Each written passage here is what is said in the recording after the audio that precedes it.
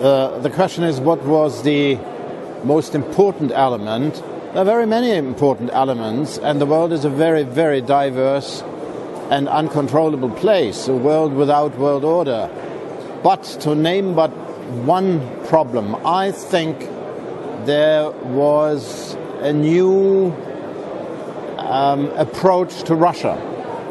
And that was very feasible. Uh, not only that Sergei Ivanov, who represented the Russian side here, was um, willing to talk about a lot of very controversial things in an open uh, way, but also that from the American side, especially in the statement of Joe Biden, the vice president, uh, there were remarkable changes compared with uh, what we heard from the Bush administration in matters like uh, missile defense, which now looks like something to be done with the Russians.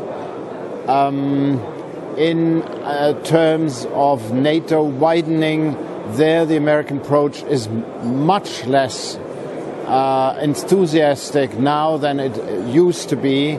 There was a distinct difference between the German Chancellor, who named Ukraine and Georgia as candidates for NATO membership, while Sarkozy was much more reluctant, and Joe Biden didn't even mention uh, the two countries. So uh, I think that promises that that holds a promise that the relationship with Russia, which is essential for the major, major problems on the agenda, uh, that the relationship with Russia will be distinctly improved.